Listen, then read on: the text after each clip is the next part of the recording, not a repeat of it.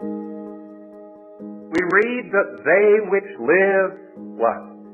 Should not henceforth live unto themselves.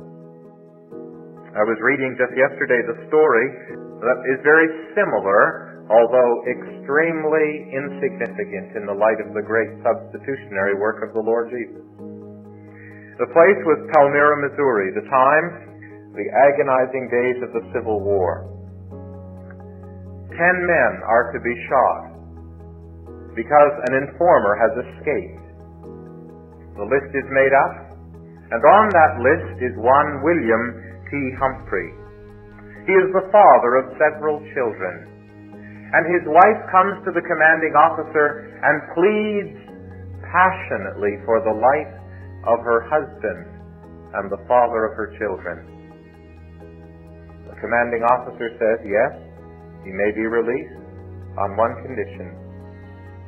That someone else, a captured enemy soldier, will stand in as a substitute for William Humphrey and die before the firing squad. Hiram Smith, a bachelor, steps forward and says that he will die for William Humphrey. If you go to this city of Palmyra, in the Mount Pleasant Church graveyard, there's a memorial to this man.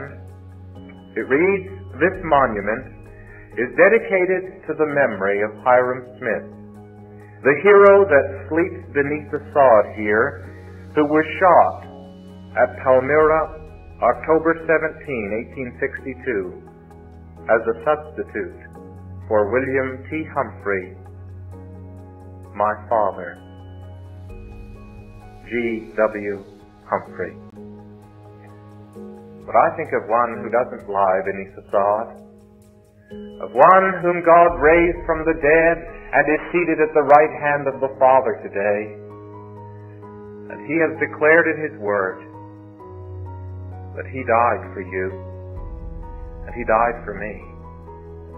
That they which live may live, not at once they did.